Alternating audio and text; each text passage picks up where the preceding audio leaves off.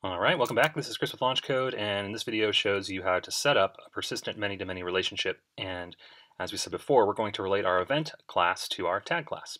So I'm going to open up both of those classes. I have uh, event and tag open now. And this video is just going to show you how to establish the relationship within the entities or within the model classes themselves. Um, we're not going to be able to do anything in the UI with these with this relationship yet. That'll be uh, in the next video. So let's see, to establish the relationship on the event side, we're going to establish both sides of this relationship. So on the event side, we come down here and let me put it below, uh, let me put it below the category uh, field. So let me make a private.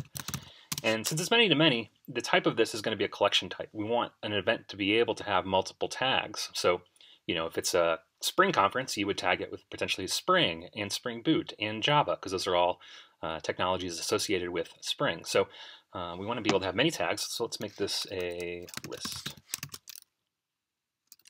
of tags.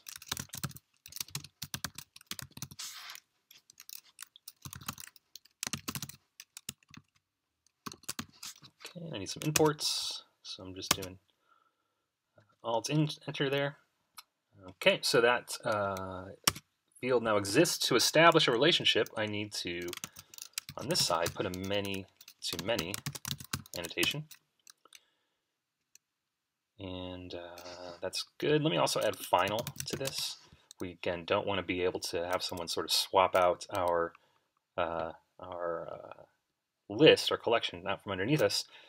Um, okay, that's good. Now let's do a couple of other things. Let's go down to the bottom and let's add a getter for our tags collection. I don't need a setter because it's final. Okay, there we go. And then we want a way to be able to add tags to an event. So let me go down below and say create a new event, say public void add tag. This is going to take a tag object. And just say this dot tags dot add. It's going to add the, the tag that's passed in.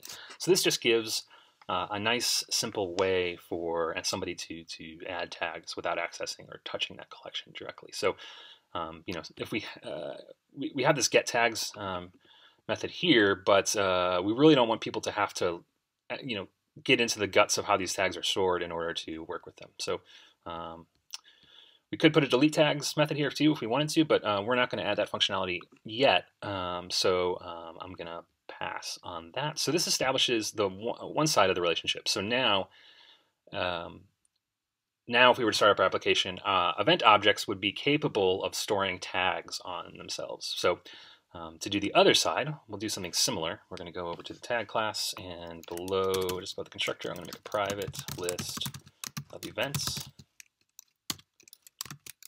Call that events. Same, same deal, new array list and uh, I'll make a final. And then I'll add a getter down at the bottom. Generate that getter. Uh, cool. And the thing I need to do on this side, again, I need a many-to-many -many annotation. And on this side, I need to say uh, mapped by equals tags. And so this tells um, it tells Hibernate that essentially that it should to figure out which events are in this collection. It should look for events that have the given tab dot, tag object associated with it in the tags tags field on that particular class.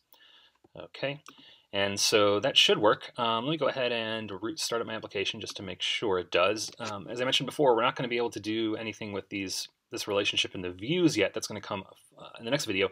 But starting my application up now will at least show me that the Hibernate configuration and JPA annotations and all that stuff are configured correctly. If they're not, I will get an exception. Again, the application is started up. There's no use in me going to the view because I can't do anything with this relationship yet in the view. Let's look, look at the database. So in the database, let me refresh my schemas pane. And so now I have a tag table that, that was added uh, in the last video when we added a tag entity. Um, and let's look at our event table and our tag table actually. So the tag table has two columns, ID and name. That's cool. The event table uh, has the same columns as before. So there, notice there are no new columns on either of these tables that are now related to each other in a many-to-many fashion.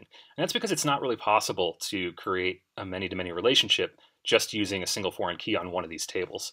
You need a new sort of structure um, called a join table. And so that's what this event tags table is. So Hibernate created this event tags table for us, and we'll open that up.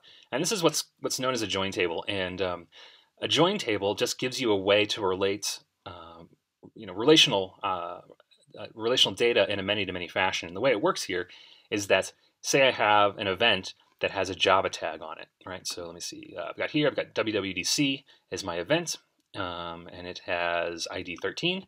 In my tag table, I've got Java that has ID 15.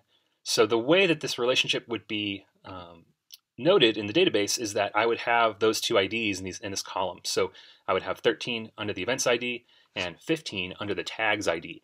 And so in order to determine uh, how a many-many relationship, uh, you know, whether or not a many-many relationship exists between two objects, you would look for an entry in the join table with the two IDs for those things. And so that allows you to uh, establish this relationship in a many-to-many fashion, which you couldn't do with just a single foreign key. Um, and just sort of an interesting note too, this table um, has, uh, let's, see if we can see it. Uh, not exactly. So this this table actually is uh, it doesn't have a primary key, a, a, primary key column, I should say. Um, and the reason why that is is it one we could have one on there, but it doesn't actually need a primary key column. Remember, a primary key is used to determine uh, sort of sort of meant to be the unique identifier for a row within a table. Um, and in this case, events ID and tags ID together, those will determine whether or not an entry is unique. So the pair of them uh, constitutes a primary key. And so this is a, uh, a concept called um, compound keys or uh, compound primary keys, so or composite primary keys. So uh, there's no primary key column here, but our table still, still does have a primary key. So you won't be able to insert, say, two rows with the exact same events ID and tags ID. That won't be allowed since uh, that would be a duplicate primary key, of course, which we cannot have. Okay, and uh, great, that's it. So our, our relationship is, you know, we can relate tags to, uh, to events now um, you know, theoretically, but there's no functionality in our controllers or views to do that. So that's what we'll do uh, next.